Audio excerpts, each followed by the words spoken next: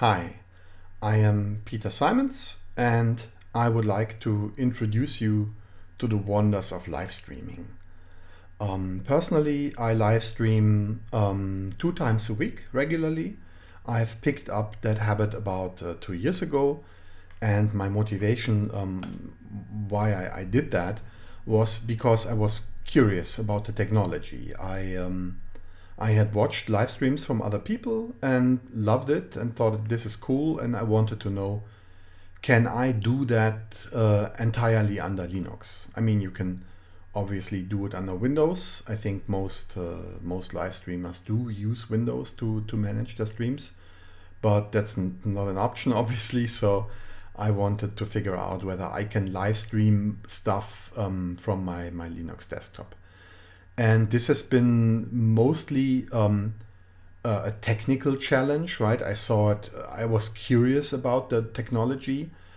And um, when I started doing live streams, I realized, man, this is fun. I, I enjoy it.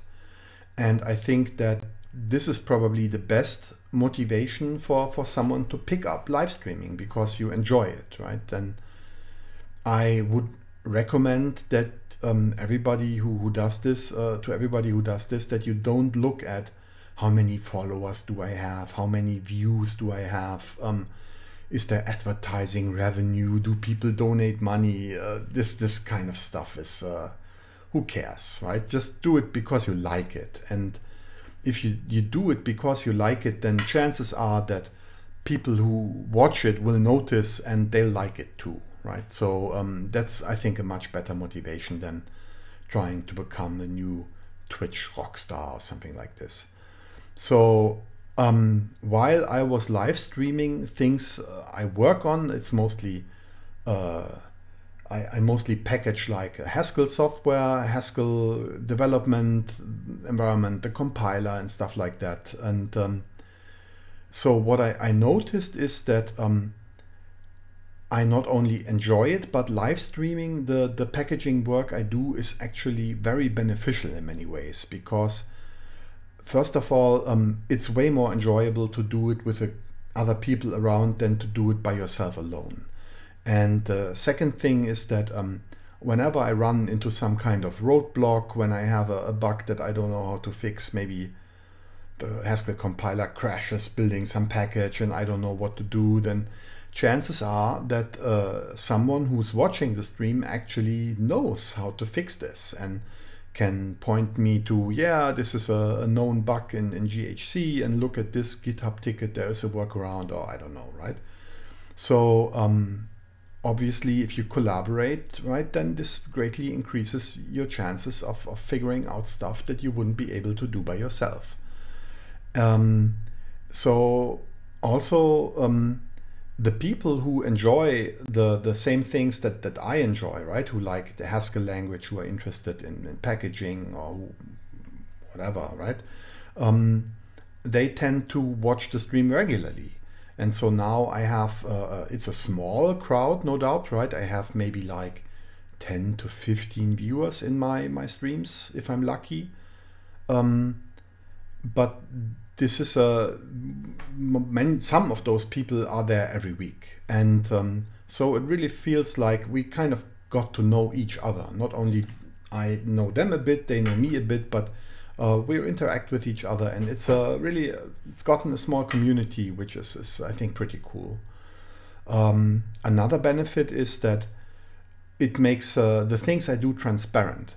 Sometimes i have to make decisions about um, which package which package do I update, which update do I not take in yet. There are maybe build options that I can enable or disable. And when people uh, ask me questions about, well, why is it packaged like this and why didn't you do it some other way? And then I can actually point them to the recording of the live stream in which I made that choice. And I explained my my thoughts and my reasoning and maybe I even discussed it with other people in the community and so this like documents um, the whole effort and makes it accessible to other people. Okay, so if you want to be a live streamer, what do you what do you need to do it? So um, obviously you need you need an, an idea about what you want to do on the stream. Um, you can do pretty much anything. You can play games, browse the web, um, uh, get excited about new software, whatever. Do whatever you want. So there is, uh, then you need an, uh, an account on Twitch. You need, uh, or on YouTube or any other um, live streaming hosting site. Uh, I am pretty sure there is also uh, a live streaming site that's entirely run with open source software, and I think it's even non-profit and everything. But I, uh, I have to say I don't recall the name right now. Uh, anyhow, so get an account so that you can allow to live that you're allowed to live stream. Then you need um, a computer, obviously, that can run the Open Broadcaster software under Linux. Um, Open Broadcaster software is uh, uh, unfortunately, it's abbreviated um, OBS, which is confusing sometimes for, for SUSE people. But um, I call it OBS Studio most of the times to, to disambiguate that. So beyond the computer, you'll need a microphone and a camera. And the camera is actually kind of optional because uh, just to give you an example, we could I could do this entire live stream like this, right? Uh, this, this, this entire presentation, I could do it like this. And it's not as nice, right? Because um, obviously it's, it's nicer if you can, if you can see me, but um, it wouldn't, it would still be useful, right? So if you don't have a camera, then that's okay. Uh, even though, man, get one because the, the viewers like seeing you, right? That's the point. Okay, so there is obviously a lot more hardware that's that's nice to have, but um, I'll come back to that later. Let's uh, look at the Open Broadcaster software first. So OBS um, is unfortunately not packaged in Tumbleweed. I'm not sure why. It might be some license issue for all I know. I have I have no clue. So, but you can get it. Ah, I already had it open. You can find it here on on the software overview. You can I don't know look at Tumbleweed, and then you'll see aha the latest version is here, and um, there you can from there you can install it. Um, you can also build it relatively easy from source code if you're into that kind of thing. It's not not hard.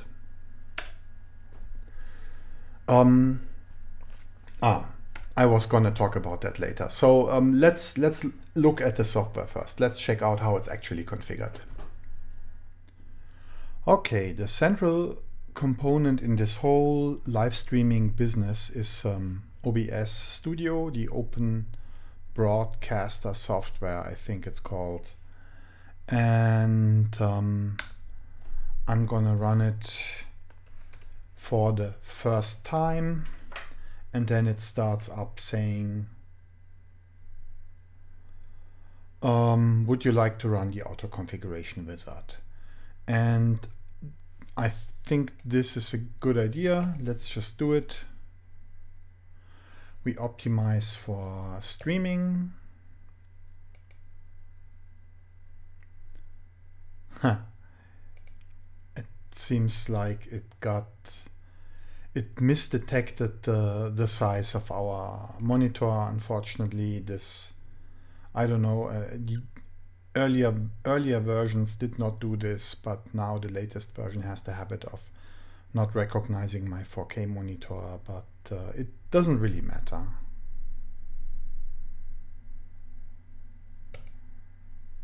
All right, I wish I could, no, uh, maybe it's thrown off because I um, I greatly increased the, the DPI value so that you have nice nice large fonts here in the recording.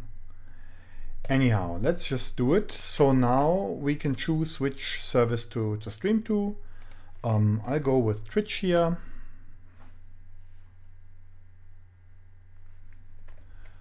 Um, my Twitch key is here in settings, stream settings, it's the first thing. And fortunately it's not displayed in plain text. And here we go. so this auto detection wizard, what it tries to figure out is basically what kind of internet bandwidth you have and um, how quickly you can encode the video stream. And both of these factors determine basically what is the resolution that you'll be streaming in and what is the um, frames per second that you'll be streaming and um, yeah, how much how much traffic can can you uh, send out to the world. And it's going to come up with some reasonable default values, which you can totally ignore and change and, and, and configure manually after the fact, but I think it's uh, it's a good idea to have it run. So here you can see it's trying full HD in 30 frames per second. Now it's switching to a lower resolution. Okay, so we have, uh, it's not perfectly readable because my fonts are like completely out of whack, but it's okay. You see we have full HD resolution for the stream and we have 60 frames per second. So these are great defaults. So the scene transition stock is actually, I don't want that here. Now this is what OBS looks like. At this point, it's basically completely configured. You have your stream key, you have your, your the, the settings for your stream, and now all you have to do is here hit start streaming and then you'll be broadcasting essentially uh, um, black and your voice to the world, right? As you can see, the microphone is recognized. We have uh, it's calibrated by, by random chance, it's calibrated nicely. You see it's getting here. The, the voice is supposed to, when you talk normally, it's supposed to like enter this yellow range and the loudest things you say are not really supposed to go far into the red range. Because the one thing you don't want is clipping right? That's uh, everybody can turn up the volume or get a headset or whatever right? There are plenty of ways to fix um, a screencast that's uh, not loud enough. But if you clip then there is no way to fix that. Okay so it's organized like this. You have scenes and let's just call this scene main view. Um, and the scenes can contain any number of, of sources. Um, in this case um, I have to right let's make this window a bit more in this case, I would like, okay, uh, this is, um, there is a, ah, I can talk about this right now. So this is the configuration. And if you have an NVIDIA card, then you'll see that you can choose between a software encoder and a hardware encoder. If you don't have an NVIDIA card, then you have to go to the advanced settings, which is the, the case for me, right? Um, and here I'm basically be choosing to encode the stream with um, FFmpeg using the VA API. So this will be doing um, hardware, enco hardware encoding. It's going to use the graphics card, but there is no native support for that in um, in OBS, unfortunately.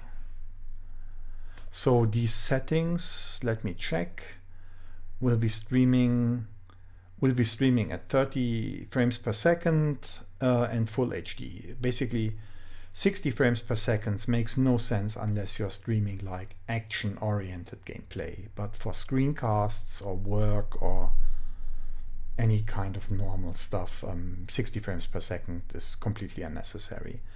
Um, you cannot stream with a higher resolution to Twitch. Twitch does not allow anything above this, right? So this is like uh, really good and um, there is basically no, no reason to go above this. So they recommend that you have 4,500 kilobits per second and I think they say B frames uh, keyframe interval every two seconds. Very good. and everything else is fine. This is the stream.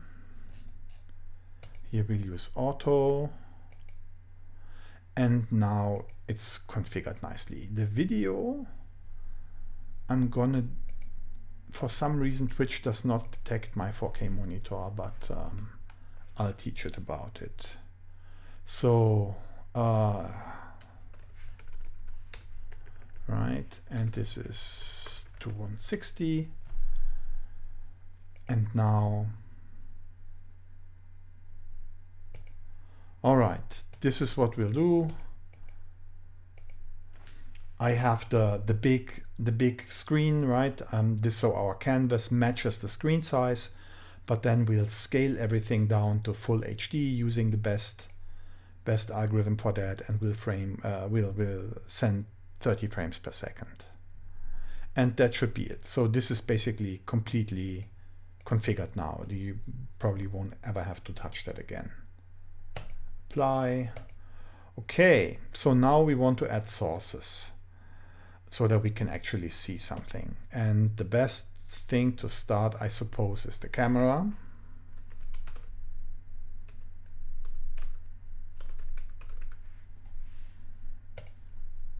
And there it is, this camera. So we'll use the best resolution. 30 frames per second sounds perfectly reasonable. Everything else we'll just use the defaults. Okay, here's our camera. As you can see, um, I own a green screen, therefore I will cut the image down so that it includes only the parts that are covered by the green screen.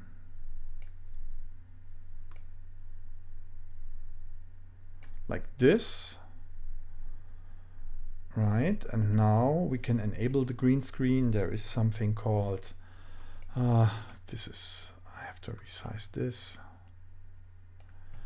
So there is an effect filter called chroma key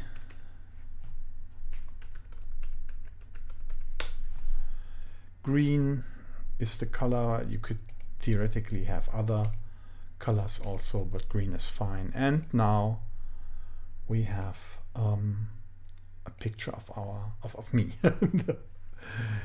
in here. Um, obviously, we would like to see what I'm doing, so um, we can capture a window or we can capture capture an entire screen. This seems like capturing the screen is a good idea, I guess. So, okay. And then we put that behind the camera and that's it. Right, your live stream is configured. If you uh, now, if you want different layouts for, for different kinds of things that you're doing, you could um, for example, let's duplicate the main view and call it compressed view. And in the compressed view, uh, will this is something I like to do personally.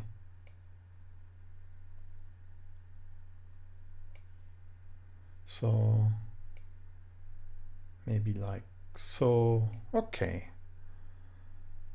And now we can lock it. And now we have two different scenes, two different configurations. Um, personally, I like this one better because you can use this space for, I don't know, to put your, your homepage URL there or your Twitter handle or additional information that, that you want on the screen, right? So this seems like a, a pretty good uh, way to, to present your stuff. If you don't have a green screen, then this is clearly the way to go, right? Because uh, you uh, how would you do this? This is an interesting. So if you don't have a green screen, this means that you this is disabled, close, and now we would have right. So obviously your background would show like your room or pictures in the background or whatever you have, right? So in that case, the camera would uh, have to live in the in the background, I suppose. Right. The, this a yeah, it's a it's a, not a bad solution actually. So the screen is, I think, kind of more important than than my face. So this is a, still a pretty good solution. Since we do have a green screen though, let's use it.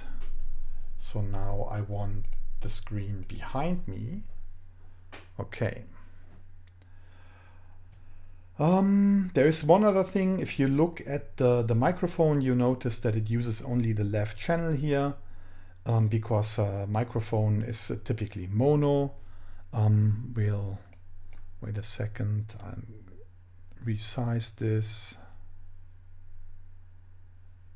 So we'll tell the microphone is mono, the desktop is stereo.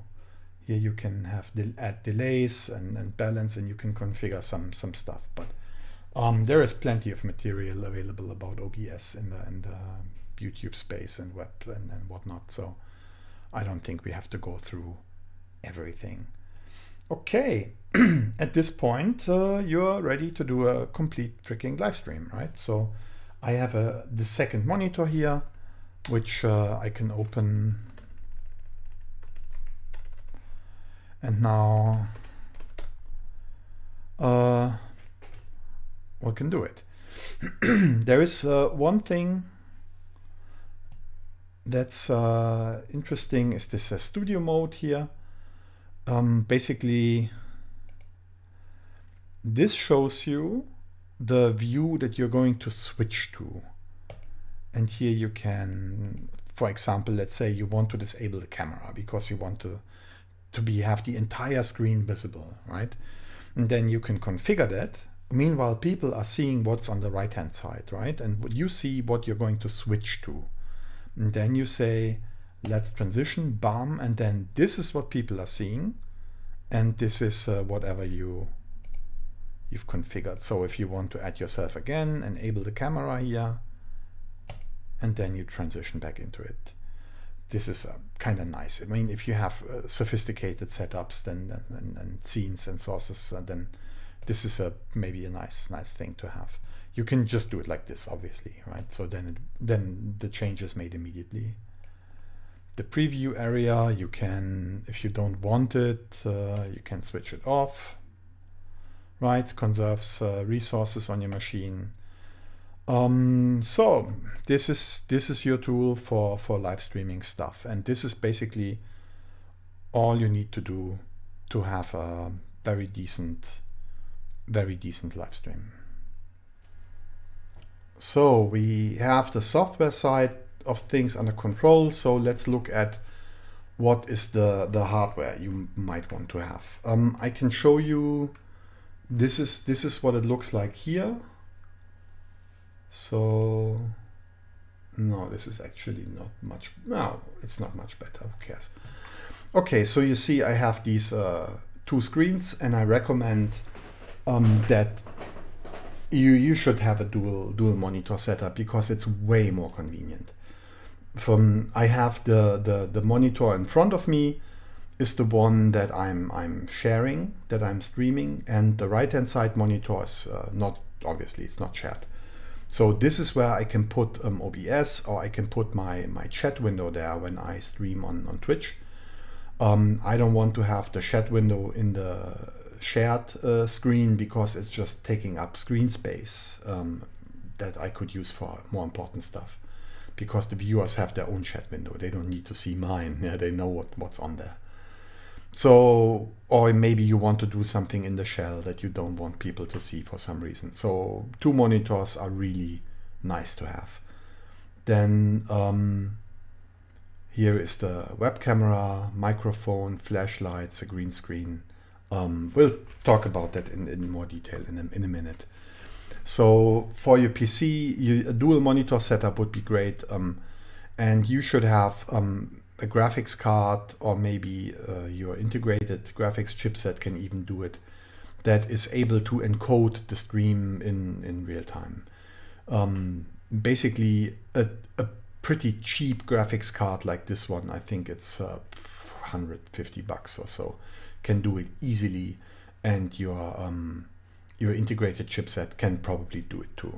So you would really like to have the stream encoded by the graphics card because it means that you can put load on your machine. You can run, I don't know, open office and, and a hundred browser windows and whatnot. Um, and it doesn't disturb your, your stream, right? Because uh, if the CPU gets too busy, then you may might have frame drops or something like this. And that's that's not gonna happen if the if you encode it on the, the GPU. Um, then uh, video equipment, there are a couple of things. Let's just check the time. There are a couple of things that are very nice to have. For example, um, you can get um, a web camera. The image quality, I think, is, is pretty good. It can record at 60 frames per second, if I'm not mistaken. So this is the one I have, right? I just put it, uh, you can see it here.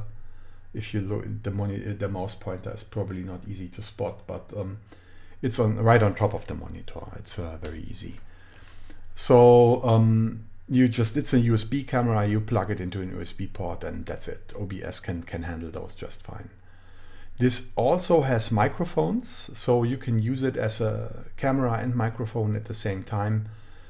I wouldn't quite recommend it though, because the audio quality is not going to be really good.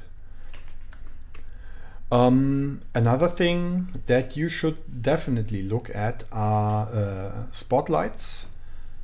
Um, the thing is that if you have a, a, room that's very well lit and you have a cheap camera, it's gonna look great, right? It's just because it's lit very well. The camera is gonna do a great job.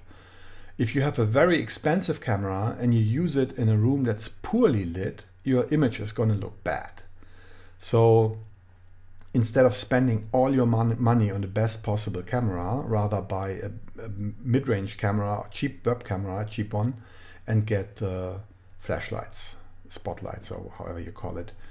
Um, it's important that you buy ones. Uh, don't. Uh, by the way, I'm not specifically recommending those. Right? I'm not saying that these happen to be the ones I bought, and they are okay the, the, the, the LEDs are pretty good, I have to say, but the mounts, they are, they are bad. I mean, they are super low quality. They do nothing but stand there, and after six months, um, they, they are falling apart. Um, it's really shit, but um, what can you do? So, um, what you should look out for is that um, if you have um, if you have this this LED and it does not have this uh, fabric, this diffusing fabric here, then this is supposed to uh, light, lighten up your face.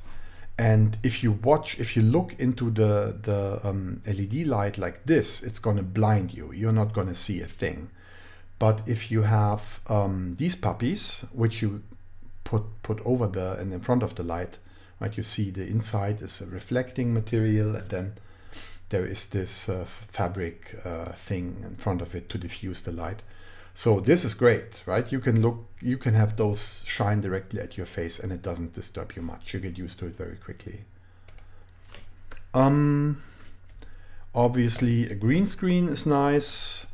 Personally, I have these ones. Uh, one of them. I mean, um, this is a folding green screen. So the, the outside structure is like flexible and you can fold it into this uh, smaller round circle kind of size and and when you put it out it just pops up and then it's uh, you can put it uh, I don't know on a you can put it on some in the background uh, in on a chair or even use a, a, a mount or something.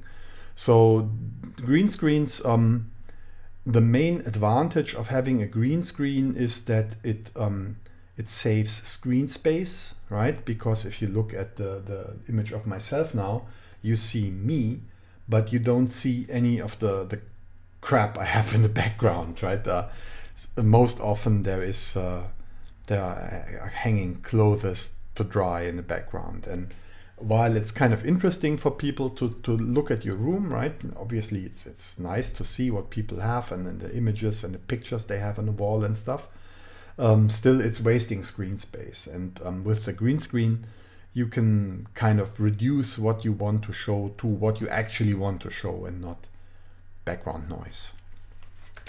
So um, last but not least, there is a, a capture card that might be might be useful. Again, um, I'm not saying that this is a particularly good one. I think it's okay. It's not too expensive and it works, but the image quality is uh, kind of mediocre. So I, I'm not actually recommending this particular card, but the concept having a capture card is actually useful. For example, um, if you have a, a, camcorder or a very good uh, digital camera and you would like to connect that to your live stream, then this is the way to do it. You put an HDMI cable from your camera into this in port and on the other side there is an out port which you can put connect to your monitor so that you can see the image of your camera or whatever on your monitor.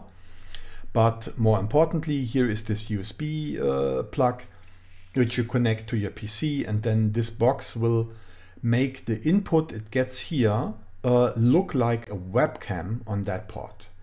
So basically your PC will get a, a, webcam that you can just easily import into OBS which shows whatever your external camera is seeing. This is also nice if you want to live stream a gameplay. Suppose you, let's say you have a Linux desktop and you have a Windows uh, laptop and you play on the Windows laptop, you play games and then you can plug this box between your um, laptop and your, your monitor and at the same time grab the image on the Linux PC and have it have it uh, live streamed via, via OBS. So this is a I, I don't personally I don't use it often but every now and then I use it and I'm it's uh, nice to have. Okay. Um, more interestingly or more importantly, um, there is uh, there are very good microphones that you can buy for between 50 and 70 euros or so, I guess. Um, my my impression is that um, the audio quality is actually way more important than the quality of your camera.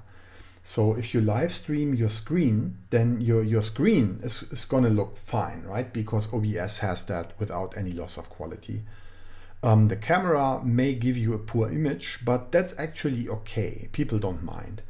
The microphone though, if that's if that's shitty, then people will hate it. Um, you can't listen if someone's you, you know it yourself. I mean, if someone uses a very bad microphone with lots of background noise and static and it's clipping and you can listen to that for like 10 minutes but it's uh, it's an effort. It doesn't it's no fun. So if you have a, a budget then i think it's more important to spend some money on a decent microphone than it is to spend it on, on a good camera or something like this Okay, so this particular microphone is very good, I think. Um, it's a, a, condenser microphone and it has uh, awesome quality. You can, it's, it's maybe even a bit um, too good for just podcasting. You can, you can do uh, voice artist stuff with this. Um, these condenser microphones, um, they need uh, a, an extra an extra power supply. So these have, they don't work without a power supply and they get typically they get the power from a, a preamp or audio interface. I call I like the name preamp. So you put the plug the microphone in here on the back side. I don't know if you can see it. No, the back side is secret. There on the back side is a USB port which you connect to your um, PC, and then this whole thing will look like uh, an, a sound card and then you have your microphone uh, and you can re record from it just just perfectly. Also with the preamp obviously you have this uh, gain gain button and you can have the left and right uh, channel um, uh, configured separately. If you have two separate microphones that have maybe different sensitivity or so then you can um, equalize that here. Um, also here you see is the the yellow the yellow light says that its uh, power supply is active. Um, there is, uh, if you don't want to invest in, oh, by the way, you don't need two microphones, right? I don't have two. You just, just need one. So one of those ports is going to be unused, but it might be useful in the future maybe to have a second port. So if you don't want to invest into that kind of stuff, then you can also find uh, condenser microphones like, like this one. And this one has um, space for a battery. So you can put one of those uh, nine, nine volt blocks into this, this thing and then it works obviously without a power supply. And then you can connect it directly to your microphone jack and need no other, you don't need any other hardware. The, um, also useful and very cheap. I mean, you probably know this stuff, I, I guess. Uh, so this is a, a nice uh, thing to put in front of your microphone. And what it does is that it uh, prevents, uh, when I say things like, I don't know, uh, Pfote, Pfütze, Pfalz, Rheinland-Pfalz, when I say these things, there are certain noises that tend to make like a pop sound in your microphone and uh, they don't if you put one of those things in, in front of it. Um, this now we're getting into the area of luxury items, I guess. Uh, you can put your microphone into this uh, this uh, shock mount, and this means that you can, when you play Grand Theft Auto and you crash into some light po lightning pole or something like this, and then you you hit your desk in anger and then this thing will prevent your microphone from making all kinds of crazy sounds. so um, there is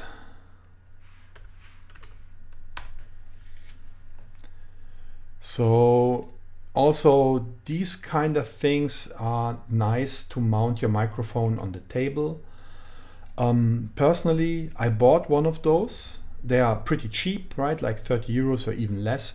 I bought one of those and I have to say, don't buy it. They are crap. They are cheap and what happens is that um, they actually can't uh, they can't sustain sustain the microphone right they you you you have to to tighten those screws to an insane amount to keep keep the microphone there where you want it and if this you can't move this thing without loosening the the screws first it kind of defeats the purpose of the whole thing because the idea is that you can move the microphone and shift it left and right easily. So I don't know. There is uh, there is this one is I think higher quality. I personally I don't own it. So again, it has good reviews. So maybe this is a decent one. Um, so the reviews suggest it is. Um, so if you would like your microphone to be uh, uh, mobile, then then that's a good thing to have. Obviously, there is way cheaper are just those those mounts where which are stationary. Um, what else is there? Last but not least, um, again, my disclaimer: I'm not saying that these uh, that these headsets are particularly good. I think they are fine. I, I have them and they are fine. I think the feature that I want is um, they are wireless and you can use them independently. So you can use only one. And this is, I think, very nice because I could put one of those puppies into my ear and then I can listen to people in the voice chat or maybe music I'm playing on a stream if I do that, even though I actually don't, but whatever, right? So whenever there is audio sounds, um, you absolutely don't want um, any sounds to come out of your monitor because those are going to be or uh, uh, boxes or something because those are going to be picked up by your microphone right you don't want that so you absolutely have to use a headset if you have any noises from your machine for whatever reason. And um, the reason why it's nice to have only one in one ear and the other ear open is um, that you can still hear yourself talk. And if you have if you have a big fat headset that has the purpose of like insulating you from the rest of the world then this is great for listening to music but if you talk while having that thing on you won't hear yourself and um, maybe you don't mind but i think it's confusing um, which is why I, I have these wireless uh, things and uh, i have them those specifically because you can use just one of them and the other one can stay in the box. I think it's maybe three or four hundred euros that I, I invested and I did this over time, right? I didn't have all this stuff at first. That's uh, you pick up more toys as uh, you go on. Um, so let's get into take a look at some some streaming habits. Um, maybe you can benefit from some mistakes that I made over the course of my career. So um, the first thing is uh, to basically I would recommend don't don't try to go for like 4K 60 frames per second resolution this kind of stuff it's uh, you need specialized hardware if you want to do that and it doesn't pay off um, so just don't bother go for if you have a full HD stream at 60 frames per second um, then this is gonna be perfect, right? Don't don't bother. Make this in good quality with decent lighting and lighting and and uh, a good microphone, and you'll you'll everybody will be happy. Um, the another important thing is that if you're live streaming like work, then like for in a shell, right? Uh, let's look at a man page so obviously people have to be able to read this. And um, the, the fonts on my screen are huge. They really are. I mean, what I do is I have my, my, uh, my X, X setup is configured for a 4K monitor and at my at full resolution those fonts are perfectly readable on my monitor and for the live stream I switch down the resolution from 4K to full HD so the fonts have, I think, at least four times the size on the screen, uh, the, the surface on the screen than they normally would. So for me, this is like crazy huge, but it ensures that people can actually read what you're doing. Um, in fact, um, every now and then I, I even go further, right? So I, it depends. It depends on what you're doing, but uh, figure out a way how to make sure that all your fonts are really big. Otherwise, people won't be able won't be able to read them. Um, it's a bit of a no-brainer, but make sure that you don't you don't live stream in a room that has crazy background noise. Um, uh, I already said that I think you should absolutely use headphones. If your computer is making any noise whatsoever, there is like beeping stuff or you have a voice chat with your viewers or you have to have headphones. Um, I think everything else is going to greatly decrease the quality of your stream. This is uh, the next item is actually a very useful tip if you can make it work. Um, the thing when you work on your on the on the machine that you use for live streaming, then obviously it's possible that you do stuff that interferes with your stream if you put a huge CPU load on it, or if you play a game that uses the graphics card, or you play audio, or you play a video that uses the graphics cards, you don't know, right? There might be stuff that interferes with your stream. And that just doesn't happen if you use a different computer, use a different work remotely on some other machine. I mean, some things, gameplay, obviously this won't work, but if you want to live stream a shell session, then you can log into a remote machine and work from there. Um, if that machine is outside of your network, then that's perfect because if on that remote machine you start downloading a full-blown Tumbleweed update, um, then this is gonna your DSL uh, DSL line at home is gonna be packed with that, and that might very well lead to frame drops and poor quality because um, uh, your your stream doesn't have the bandwidth it needs, right? So if you have, if you put that load onto a machine that's outside of your network, then nothing can happen, and that's just just perfect. Um, if you're working on a remote machine, you might also consider using a separate browser profile and um, a separate user. The reason for that is um, basically the auto completion features that we all have these days. So if you look, um, if I type ls here, then I because I want to list the contents of the directory, I immediately expose to the world what kind of uh, music I'm listening to. And I mean, you never know, right? In your shell, you may have, for some reason, entered a password on a command line or maybe uh, whatever, right? Uh, you may not want to expose your shell history to, to your live stream audience. And in browsers is the same, right? If you type basically any anything, if you go to a browser and you type like an F, then right, you immediately tell people what this is something I have searched for, right? You can tell that you see uh, pages I viewed and um, I use, for example, I use Chromium for live streams, but personally I use Firefox. So um, this ensures that only things that are relevant for a live stream and that are fit to be seen on a live stream show up um, when I use that browser. Also, there is the history and recom and whatnot, right? So having um, a separate profile might protect your privacy there. Um, I also also uh, this is a nice suggestion.